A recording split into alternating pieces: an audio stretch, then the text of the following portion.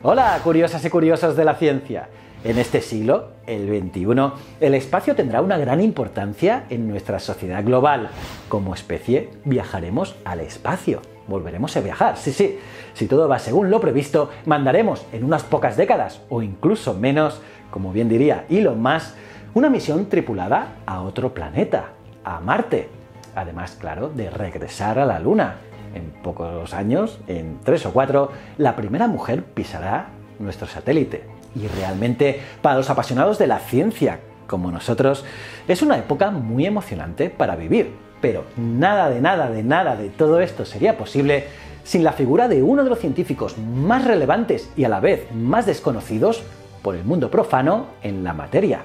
Estoy hablando de Robert Hutchins Goddard y hoy os contaré su pequeña historia tan relevante para la segunda mitad del siglo XX y lo que se augura de los venideros. Y es por eso, por su importancia, que el Laboratorio de Investigación de la NASA y primer centro espacial de vuelo se llama así, se llama Centro de Vuelo Espacial Goddard. Además, haré este vídeo de la mano del gran Isaac Asimov y su gran libro Momentos Estelares de la Ciencia, cuyo enlace os dejaré en la descripción de este vídeo para que lo podáis comprar. Soy JJ Priego y ya sabéis, en este canal siempre vemos que lo conocido es finito y lo desconocido infinito. Bueno, ¿queréis saber más? Pues vamos a curiosear.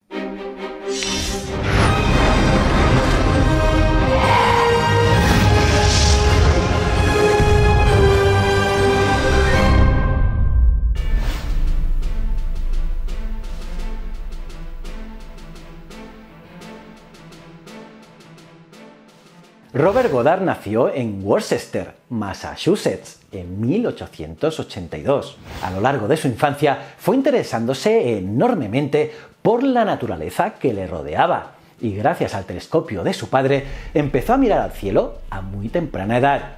El tema fue a más cuando la introducción de la energía eléctrica en los Estados Unidos a lo largo de esa misma década la de 1880, en ese momento su interés por la ciencia creció y empezó a realizar experimentos caseros, en muchos casos relacionados con la experiencia de volar. Pero no descubrió su verdadera pasión, el espacio, hasta los 16 años, en 1898, al leer el libro La Guerra de los Mundos de G.H. Wells. Y cuando tenía 17 años, el 19 de octubre de 1899, y según sus propios relatos autobiográficos, se subió a lo alto de un cerezo cercano a la casa y al mirar el campo comenzó a imaginarse lo maravilloso que sería crear un dispositivo que pudiera llegar al planeta Marte. Y a partir de esa idea, esa premisa a priori tan básica, empezó a idear métodos de elevación de objetos. Según sus palabras, al descender de ese árbol,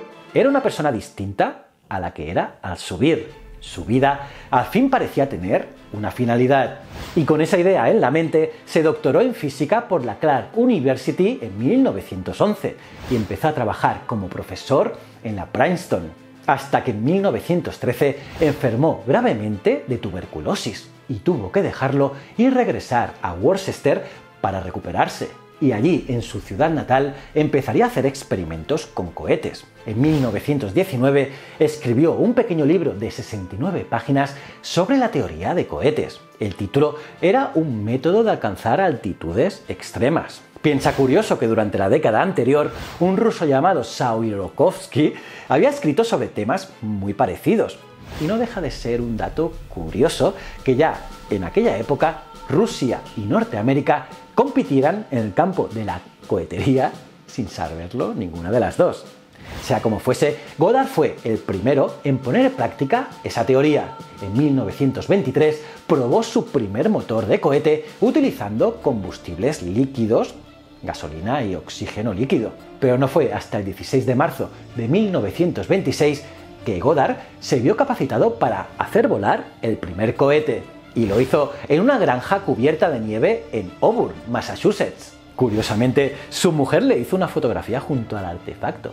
Era un ingenio de 1,20 metros de alto, 15 centímetros de diámetro e iba sostenido por un bastidor parecido a un tacataca de niño pequeño. La gasolina se mezcló con el oxígeno líquido y ardió, lo que hizo que el cohete ascendiera tronando por la atmósfera. Al cabo de poco tiempo se agotó ese combustible. El cohete siguió subiendo hasta un máximo y luego cayó al suelo. Ese trasto no superó siquiera los 90 km por hora y la ascensión total apenas llegó a los 61 metros. Y claro, Marte quedaba un poquito más lejos, pero el experimento, ese experimento de Goddard fue tan, tan importante como el vuelo del Kiri Hawk. Sí, sí, el primer vuelo que hicieron los hermanos Wright. Aunque sí, con la diferencia de que lo del cohete no le importaba a nadie salvo a Goddard. De hecho, y valga como dato representativo, él solito puso los fundamentos, sí, sí, dos fundamentos de la cohetería norteamericana, pero fue un auténtico desconocido en su tierra. Nadie lo conocía hasta el día de su muerte. Cosas de la vida, pero en fin, después del exitazo de su experimento, Goddard consiguió que la Smithsonian Institution le apoyase un poquito y le concediera algunos miles de dólares para proseguir con sus trabajos. Y así, en julio de 1929, lanzó un nuevo cohete algo mayor cerca de Worcester. El nuevo modelo alcanzó más velocidad y altura que el anterior, pero además llevaba a bordo un barómetro y un termómetro, así como una cámara para fotografiar ambos instrumentos convirtiéndose así en el primer cohete que transportó instrumentos de medición.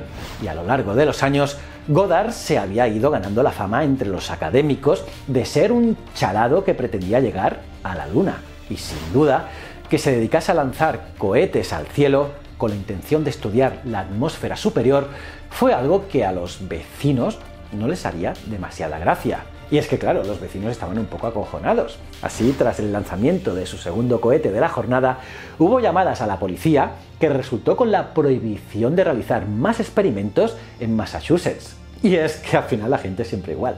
Pero bueno, Estados Unidos es muy grande. Y Goddard tuvo la fortuna de que un filántropo llamado Daniel Guggenheim se fijase en sus trabajos y le diese suficiente dinero para poder montar una estación experimental en el por aquel entonces solitario Roswell en Nuevo México. Allí, lejos de la incomprensión de los vecinos, pudo construir cohetes aún más grandes y elaboró muchas de las ideas que hoy siguen siendo válidas en el campo de la aeronáutica espacial. Por ejemplo, diseñó cámaras de combustión idóneas y quemó gasolina con oxígeno con el fin de que la rápida combustión sirviera para refrigerar las paredes de la cámara inmediatamente vio que la raíz del problema era conseguir velocidades de combustión muy rápidas con respecto al cuerpo del cohete. Y entre 1930 y 1935 lanzó cohetes que alcanzaron velocidades que para la época eran nada envidiables porque llegaron hasta los 880 km hora y alturas de 2,5 km. Y diseñó sistemas de guía y giroscopios para mantener el rumbo deseado y como guinda al pastel, patentó la idea de los cohetes de fases múltiples. Pero como suele pasar, el gobierno norteamericano nunca llegó a interesarse en sus trabajos y únicamente le prestó apoyo durante la Segunda Guerra Mundial para que diseñara pequeños cohetes que ayudasen a despegar a la aviación desde el portaaviones. Pero ojo, que al otro lado del Atlántico y en el otro bando de la guerra, un grupo de científicos nazis construía en Alemania grandes cohetes basados en los principios de Goddard. Sí, sí, lo que oís. Y así fue como llegaron el V2, que de haber sido perfeccionado antes, podría haber dado la victoria a los nazis. Pues bien, una vez finalizada la guerra y cuando esos expertos en cohetería alemanes llegaron a América bajo la operación Paperclip y fueron interrogados sobre sus ciencias, sobre su ciencia y cómo lo hacían, contestaron mudos de asombro. Pero, ¿por qué no le preguntan a Goddard? Sí, sí, los alemanes, los nazis, conocían más a Goddard que el propio gobierno de los Estados Unidos. Pero claro, preguntarle a Goddard ya era demasiado tarde.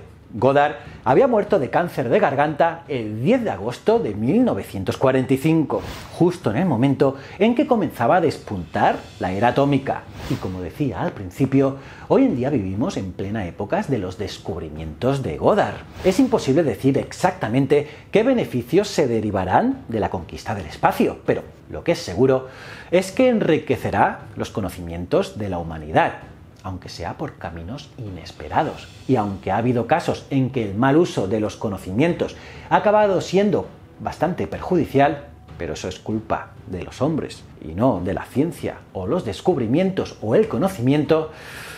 Bueno, sea como sea el futuro, el futuro de los cohetes, el hecho es que su historia comenzó con un pequeño artilugio que llegó a unos irrisorios 60 metros y lo hizo por encima de un campo nevado de Auburn. Y es que a veces los grandes descubrimientos están en los pequeños sitios. ¿Cómo os habéis quedado curiosas y curiosos? ¿Qué? ¿Qué os ha parecido este vídeo? ¿Conocíais a este excelente personaje?